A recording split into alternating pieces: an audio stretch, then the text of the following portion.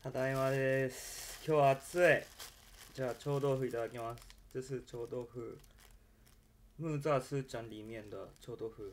大份五十块很便宜ね。いただきます。嗯好吃哎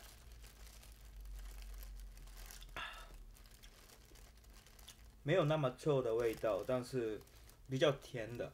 ちょっと甘みのある。そんなすごい臭くない。うん。ここの臭豆腐はそんな臭くない。食べやすいです。うん。中はサクサクで。あ違う。中はしっとりしてて。外はサクサクです。パオツァイと一緒に。いただきます。うん。美味しい。超好吃的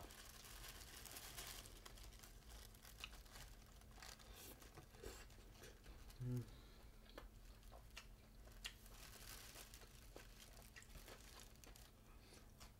嗯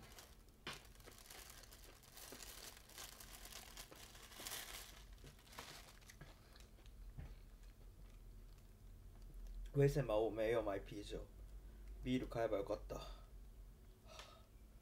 下顔頑張ります。下茶よ期末考査頑張ろう。それでは。疲れた。